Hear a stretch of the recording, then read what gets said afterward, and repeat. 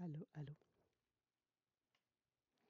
Okay, so we will do a problems with a distributed load, and we will have two different members of the structure, one that is submitted to normal stress and one that is submitted to normal and um, shear stress. And the question is, what will be the maximum load, the maximum distributed load W here, knowing that uh, the structure is made of two pipe, like tubing pipe, uh, 4 centimeters by 4 centimeter with a thickness of 0.5 centimeters, and that the maximum stress of the materials is 16 megapascal, and the maximum shearing stress of the material is 18 megapascal. So we kind of know the limits of the materials, how much it can handle. We know the sections, what they'll look like, and we wonder, okay, so what is the maximum load we can apply to it? What do we start with? Always. We start with free body diagrams.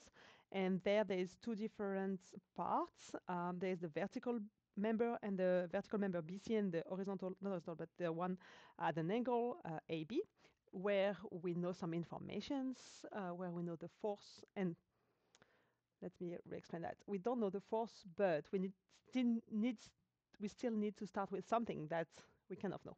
So we will start with the program BC. Okay, you will see what I mean. BC B, and C. And we have this distributed load that is equal to W, and we know that the distance is 3 meter. So it's a rectangu rectangular load. Remember in statics, rectangular will be at the center, and that will be the uh, max load time the distance. So that will be 3W. And uh, we have forces that we don't know at B. Uh, we know the direction of the force because AB is a two forces member because they, we don't include the weight. Um, so we will have BC and because 3W is to the right and creates a negative moment about C, this force at B must create a positive moment, so it should be to the left. Uh, BC, so that will be F BC, and we know the angle because we are in a little 3, 4, 5 triangle, like this. 3, 4, 5 triangles, very convenient 3, 4, 5 triangles.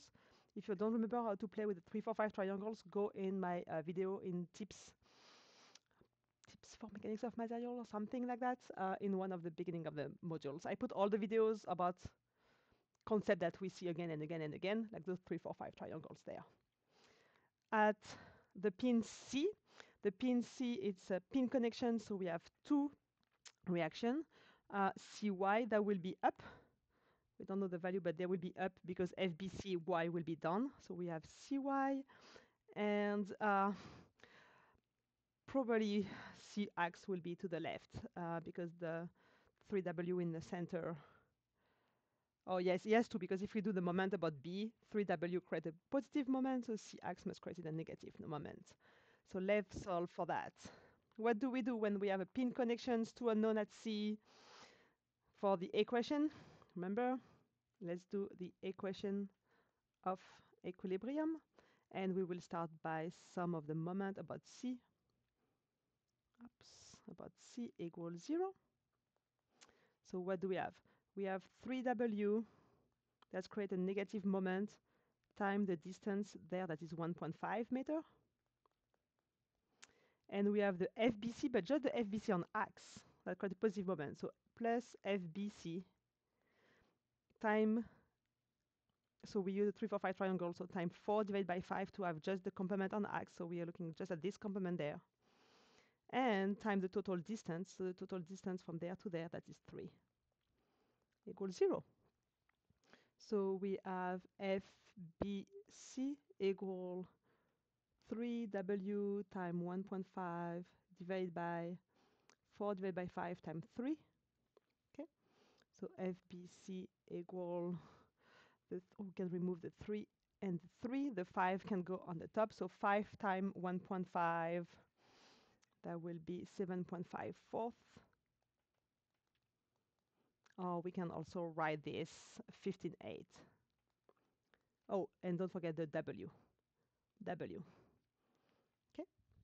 And W will be in uh, kilonewton time meter, so uh, FBC will be in kilonewton. Okay. and I put kilonewton because uh, that will be probably some very uh, high load. So we have FBC. Let's keep going with our equation of equilibrium. So we did M, MC.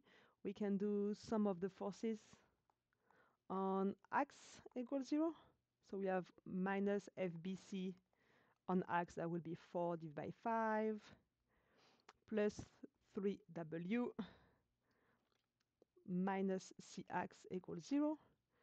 So FBC, this is minus 15.8, 15.8 W times 4 divided by 5 plus 3 W equals Cx.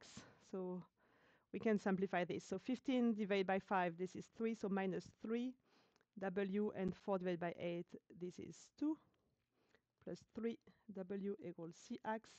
So we got Cx equal 6 half minus 3 half equal 3 half of W.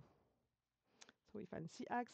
And let's find now some of the forces on Y equals 0. Okay, so we have minus, oops, minus FBC on Y. So on Y that will be the 3 fifth.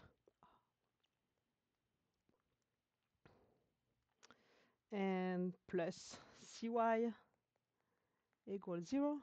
So we got CY equal FBC. FBC we found 15 8 W times 3 divided by 5. So CY equal, so the 15 divided by 5, that's 5. So 5 times 3, 15, 8 times W. Is correct? Oh, not 15, 3 times 3, 9.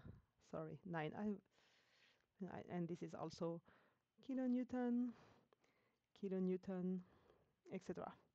So now that we have the forces, okay, we found the forces, we found the forces FBC, we found the forces Cx, and we found the forces Cy. Let's look at the stress in each member. Let's start by, okay, that was now the step number three. Let's put it there. I will look at uh, the internal forces in AB. So I will use free body diagram again, but for AB. Oops, let me do it again. Okay, A, B, and we found FBC equal 15. Uh, that was down and left on BC, so that will be up and right on AB. And we know the value. a little bit bigger so we can see it. That will be 15.8 W on both sides. So if we cut there, we have only normal stresses and ups. This is also the 15.8W. So what are equal uh, the stress? The stress, the normal stress are equal to tau equal the force divided by the area, right? And what we know is the tau max will be equal to the force, so the 15 divided by 8 times W divided by the area. What is the area? We need to find this area. We didn't find it yet. So the area in millimeters, because that will be, uh, we will compare that with megapascal. Uh, it's a square of 4 times 4, so 40 times 40 millimeter square minus the inside. So we have the little, this one is 40. And because um, the thickness is 0.5, so 0.5 on both sides, we'll remove one centimeters on both sides. So the inside is 30, so minus 30 times 30. So the area of um, this one is 700 millimeter square. So now let's solve for W, tau max, uh, sigma max, sorry, sigma max is 16 megapascal, that is provided. So we have, oops, I will go there, 16 megapascal time A equal 15 divided by 8 W. So we have 16 time, we say 700 times 8 divided by 15 equal W. That gives us a max W of 5,973 Newton time meters or 5.97, 5.97 kilonewton time meter. This is the max W um, based on the normal stress in the beam or in the member AB. Now we need to do, so we, need, we did the member AB. Now step number four, we need to do the member BC. So, oops, free body diagram. Free body diagram of BC, like this. C-ax, now we know C-ax. Okay, we know FBC on the top, that is down. So this is your F. BC that is 15.8 W. We know the C-ax to the left, that is 3 half of W. And we know the CY up, that is 9 8 of W. And after that, we have the little distributed load everywhere. Right? So normal force, the max normal force, if we look at there, the max, max normal force is 9 8 of W. So here the max normal force is 9 8 of W and this is less than the 15 15 8 of W. So the member BC is submitted to a larger normal force and normal stresses. So we don't need to find the maximum W for uh, the bar, the beam BC because it's lower anyway than uh, AB. Now let's look at the shearing force. Where are the largest shearing force? So here we have the 3 alpha of W. This one is 15 8 of W. And if we look at just, just the shearing force in that direction, that's even lower because we have a little 3, 4, 5 triangle. So that will be 4 fifths of 15.8. That is less than 3 half of W. So here in the beam BC, the max force, so the uh, shearing force max will be, we will have to compare with the fact, with the 3 half of W, the max shearing force that is on the bottom divided by the area.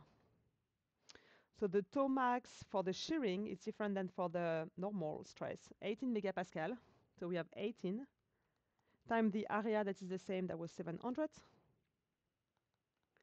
equal 3 half of W, and we get a maximum W of 8,400 Newton time meter, that is equal to 8.4 kilonewton time meter. So now, what is the maximum load, the maximum distributed load on this beam? We found two different answers. We found, try to have everything on one page, we found a maximum uh, W based on the maximum normal stress, and we found a maximum W based on the uh, shearing stress. And what will be the limit? That will be the lowest, because the lowest W, um, the beams will be able to handle both of them, but this one will not be able, the first one will not be able to handle the 8.4. So the answer is the max W is 5.97 kilonewton time meter. So if we are not happy with this W, we can change the section, we can change the materials, uh, maybe we can change also the geometry. There's a lot of parameters that we can play with. Hope everything makes sense. Bye-bye.